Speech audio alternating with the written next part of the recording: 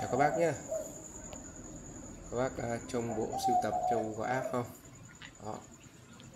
thì uh, đây là một không gian chơi đồ cổ chơi lan mà bất kỳ kỳ anh em nào à, chơi đồ cổ cũng muốn được sở hữu một cái không gian này. Đó trông rất là xanh mát luôn. Đó, phía trên thì uh, treo lan này. Đó. Đấy, lan đang ra những bông hoa còn à, phía dưới thì à, trưng bày uh, chum vại cối đá. Đó rất nhiều luôn. Đây các bác trông đẹp không? Quá đẳng cấp luôn. Đó. các loại chum vại sành sứ. Ôi rồi quá nhiều luôn.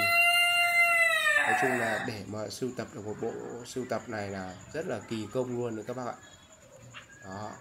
Đấy trông này đây là con gà rừng nhá. Đấy gà rừng tai trắng này trông đẹp không? Đấy, bánh xe này. Ui rồi phải nói là rất là choáng luôn. Đấy. các bác trông thích không? Thì à, bộ sưu tập này là của anh à, Trịnh Xuân Dương ở Bắc Giang nha các bác nhé. Đó một à, đại gia đây à, em sẽ dẫn các bác lên à, tầng 2 tầng 2 trên này là bác ấy còn trưng bày nhiều đồ cổ nữa. Đó một cái sàn tầng 2 này. Đây. Vẫn là chùm vại ui dồi ôi. Bao la bát ngát luôn. Chùm to chùm bé. Cân tạ đồng cân tạ này. Rất nhiều cu gáy này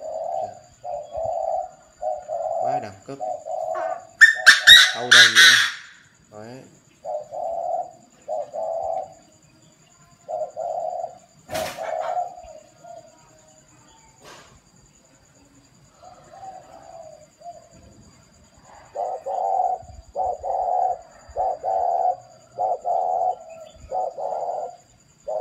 Đây trên này bác ấy cũng ờ, treo rất nhiều lan.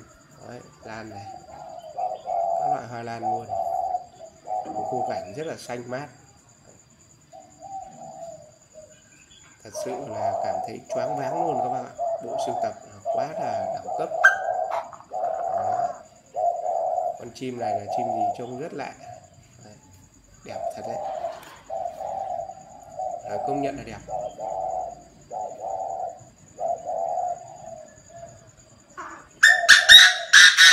Quạt ngắm này